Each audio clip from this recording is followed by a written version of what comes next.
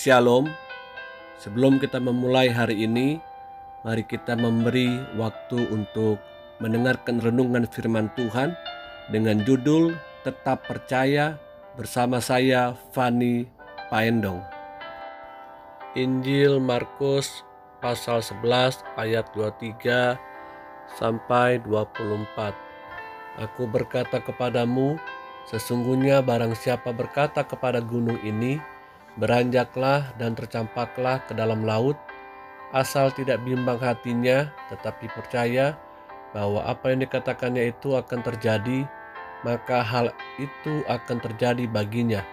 Karena itu aku berkata kepadamu, apa saja yang kamu minta dan doakan, percayalah bahwa kamu telah menerimanya, maka hal itu akan diberikan kepadamu.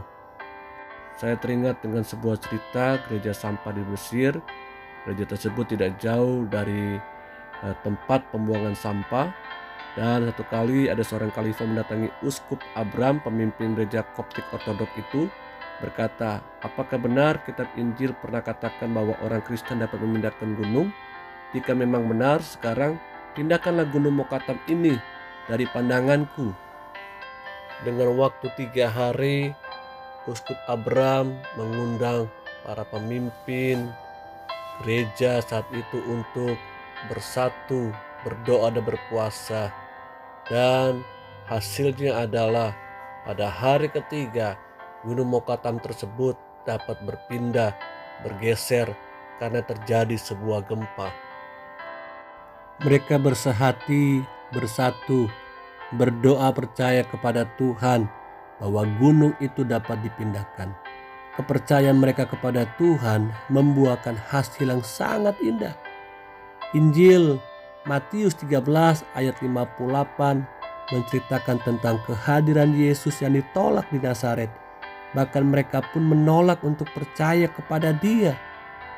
Karena ketidakpercayaan mereka, tidak banyak mujizat terjadi di tempat itu. Allah tidak bisa bekerja di tengah-tengah orang-orang yang tidak percaya penuh kepada Dia. Roh Kudus tidak bisa hidup maksimal menguasai hidupku dan hidupmu kalau kita bimbang, kalau kita tidak percaya kepada Dia. Kita diingatkan dalam Roma pasal 4 ayat 18, sebab sekalipun tidak ada dasar untuk berharap, namun Abraham berharap juga dan percaya bahwa ia akan menjadi bapa banyak bangsa. Menurut yang telah difirmankan demikian banyaknya nanti keturunanmu. Abraham dan Sarah memegang kuat janji Allah kepada mereka. Kepercayaan kita kepada Allah seharusnya membuat kita semakin yakin akan segala jalannya pasti yang terbaik. Terbaik menurut waktu Tuhan, bukan terbaik menurut waktu manusia. Karena Tuhan pasti menepati setiap janji-janjinya yang sudah diberikan kepada kita tetaplah percaya kepada Tuhan, waktu Tuhan, waktu yang terbaik. Haleluya. Amin.